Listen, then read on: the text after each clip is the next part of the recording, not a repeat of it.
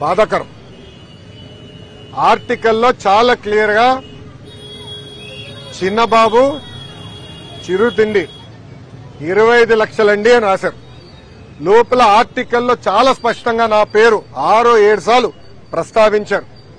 దాంట్లో చాలా క్లియర్గా నేను అక్కడ తిన్నానని ఆ బిల్స్ ఆనాటి ముఖ్యమంత్రి చంద్రబాబు నాయుడు గారి అకౌంట్లో నేను వేశానని కూడా వాళ్ళు చెప్తాం జరిగింది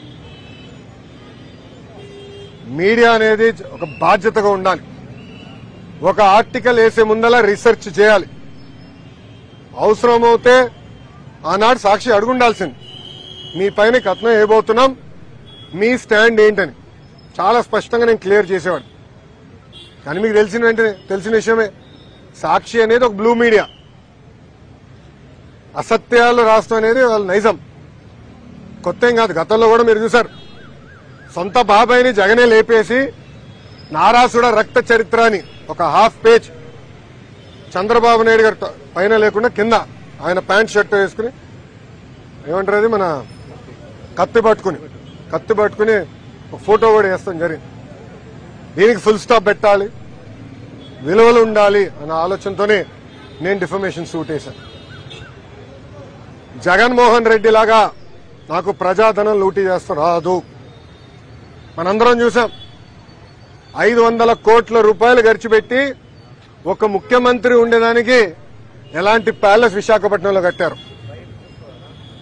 అంతేకాకుండా అక్కడ ఎన్వైరన్మెంట్కి ఇబ్బంది చేసి క్రియేట్ చేశారని కేంద్ర ప్రభుత్వం అదనంగా ఇంకా రెండు వందల కోట్ల రూపాయలు పెనాల్టీ వేసింది.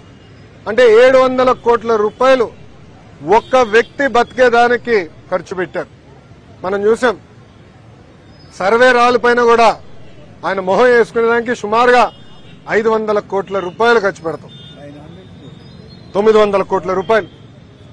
ఇలా అడ్డగోలుగా సైకో ఫ్యాన్సీ అనండి సొంతం కోసం అనండి ప్రజాధనాన్ని ఆనాడు లూటీ చేశారు ఖర్చు పెట్టారు. అది నాడు నేడు ఎప్పుడు తెలుగుదేశం పార్టీ చేయదు.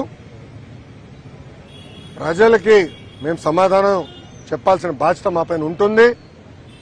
అందుకే ఒక క్రమశిక్షణ ఒక పట్టుదలతో మేము ఆనాడు పనిచేశాం. అదే క్రమశిక్షణ అదే పట్టుదలతో రాబోయే ఐదు సంవత్సరాలు కూడా మేము ప్రజల కోసం ఆరునిసలు కష్టపడతాం పని చేస్తామని ఈ సభాముఖం తెలుపుకుంటున్నాం. ఇప్పుడు మీడియా మిత్రులకి ఏమైనా ప్రశ్న ఉంటే దానికి సమాధానం చెప్పేదానికి నేను సిద్ధంగా ఉన్నా ఇప్పుడు మీరు మంత్రిగా ఉన్నారు కదా ఇప్పుడు మీ సొంత ఖర్చుతో వచ్చారు ఇప్పుడు కూడా ఎస్ నేను వచ్చిన విమానం నేను డబ్బులు కట్టింది.